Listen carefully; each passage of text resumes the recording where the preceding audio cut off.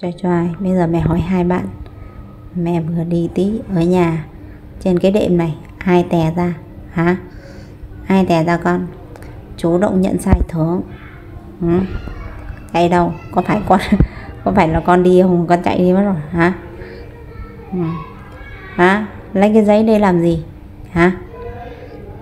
Ừ. Lấy cái giấy này lau phải không? À nhưng mà lau rồi mùi hôi vẫn còn thì làm sao? Mùi khai á vẫn còn thì làm sao? Hả? Ồ oh, lấy cái đây xịt lên là hết mùi hả? À ồ oh, con cái gì cũng biết. Thế sau này còn tèn nữa không? Hả? À không tèn nữa. À, xin mẹ đừng có nói nữa đúng không? Ừ, không nói nó không nói nữa. Cả nhà ơi đây là một can nước xịt phòng nhá. Khử cái mùi hôi khi cún mà đi tè đi vệ sinh ra nhà nhá. Trên ghế thì xịt cho đỡ mùi hôi dưới nhà xịt xong rồi lau đi ạ cho đỡ